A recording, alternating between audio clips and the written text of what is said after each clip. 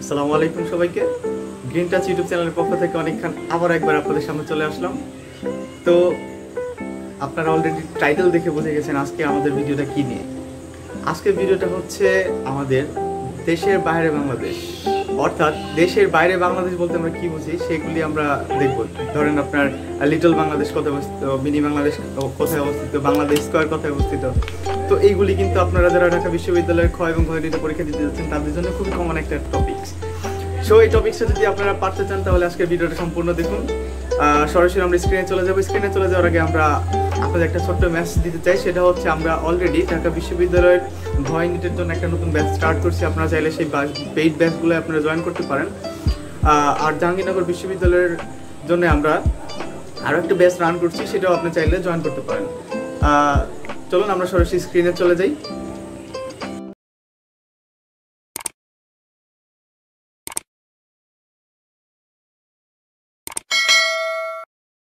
আমাদের স্ক্রিনে আপনারা এখানে দেখতে পাচ্ছেন দেশের বাইরে বাংলাদেশ।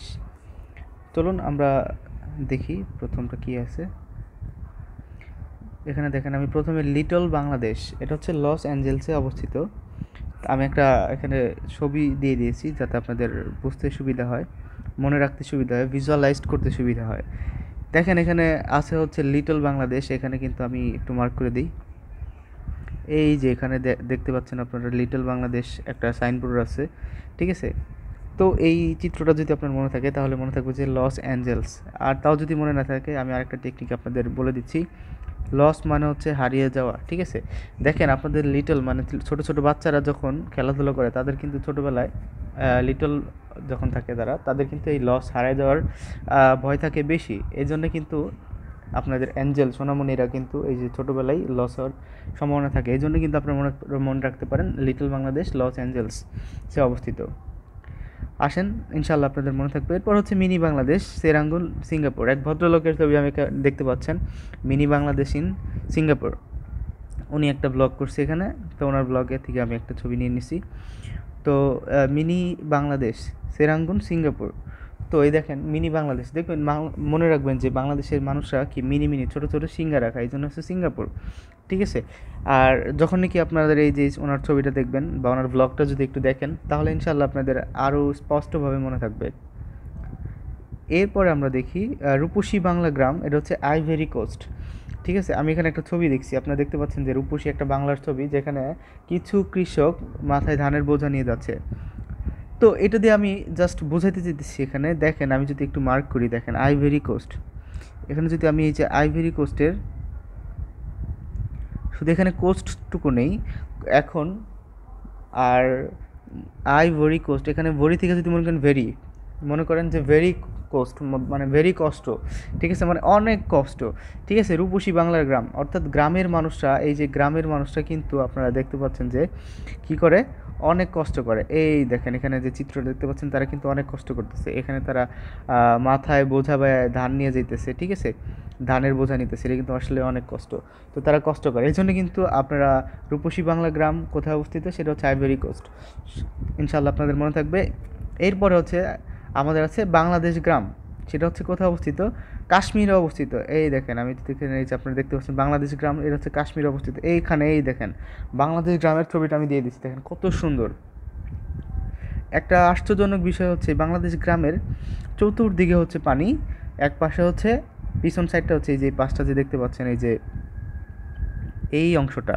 এই অংশটা কিন্তু একটা পাহাড়, ঠিক আছে? এই অংশটা একটা পাহাড়, আর এই পাহাড়ের ভিতরে হচ্ছে আমাদের এই বাংলাদেশ গ্রামটি। আসলে অনেক সুন্দর এই গ্রামটি।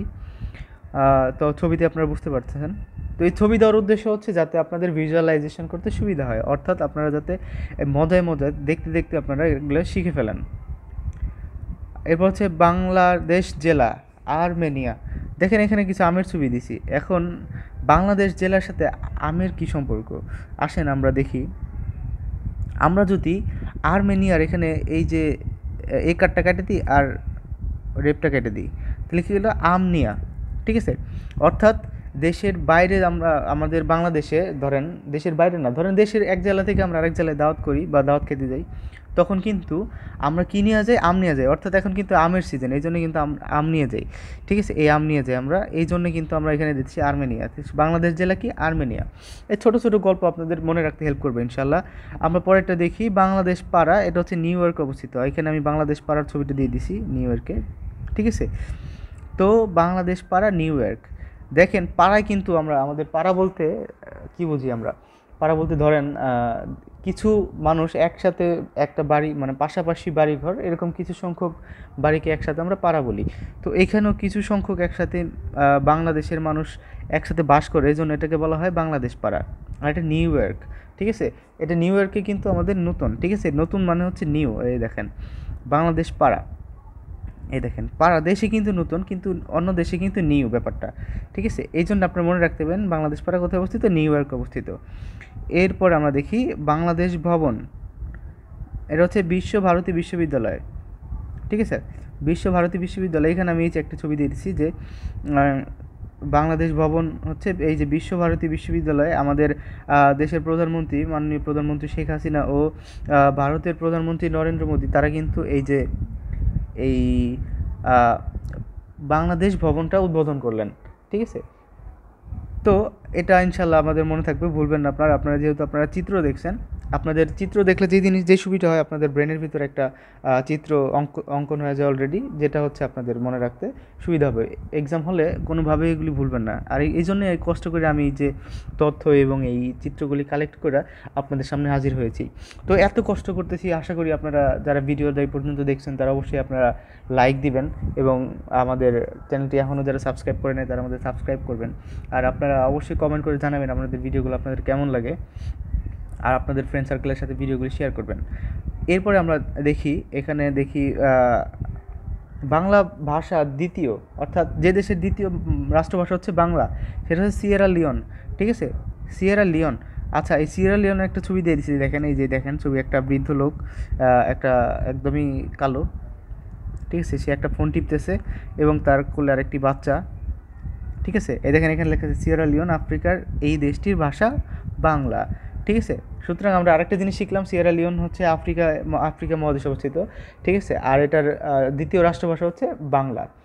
তো এটা কিন্তু ঢাকা বিশ্ববিদ্যালয়ে কয়েকবার এসেছে এবং বিসিএসেও এখান, এই প্রশ্নটা করেছে যে কোন দেশের দ্বিতীয় রাষ্ট্রভাষা হচ্ছে বাংলা। সুতরাং এখন থেকে ইনশাল্লাহ আপনাদের এই প্রশ্নটা ভুল হবে না, আপনারা পারবেন, ইনশাল্লাহ। বাংলা টাউন, এটা হচ্ছে Brick Lane, London. Bangla town হচ্ছে ব্রিকলেন, লন্ডন। আমি এখানে একটা ছবি দিয়ে দিচ্ছি বাংলা টাউনের। এই দেখেন বাংলা টাউনের ছবি, এই দেখেন এখানে বাংলা টাউন লেখা আছে, আমি একটু মার্ক করে দিই। এই দেখেন বাংলা টাউন এখানে লেখা আছে। ঠিক আছে? বাংলা টাউন কোথায় অবস্থিত?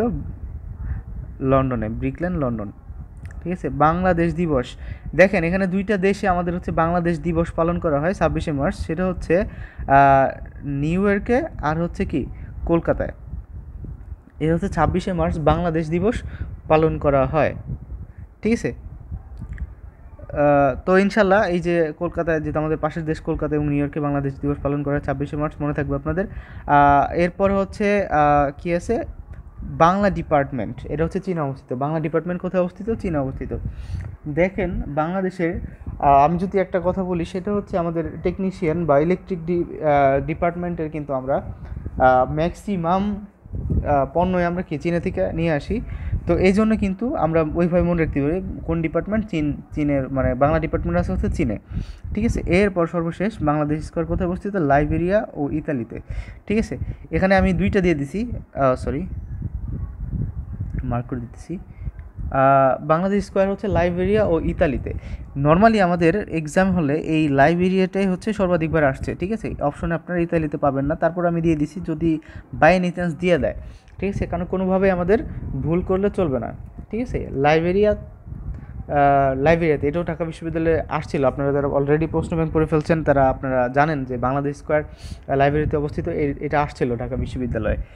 তো আজকের ভিডিও এই পর্যন্তই ছিল। আপনাদের জন্য আমরা প্রতিদিন এরকম ভিডিও আপলোড দেওয়ার চেষ্টা করি, কিন্তু অনেক প্রবলেম থাকার কারণে আমরা রেগুলার ভিডিও আপলোড দিতে পারি না। কয়েকদিন পর পর ভিডিও আপলোড দিই। তো যারা পর্যন্ত ভিডিওটা দেখলেন, তাদেরকে ধন্যবাদ। আপনারা আমাদের সাথেই থাকুন। আমাদের চ্যানেলটিকে আপনারা সাবস্ক্রাইব করুন, আপনার ফ্রেন্ড সার্কেলের সাথে শেয়ার করুন।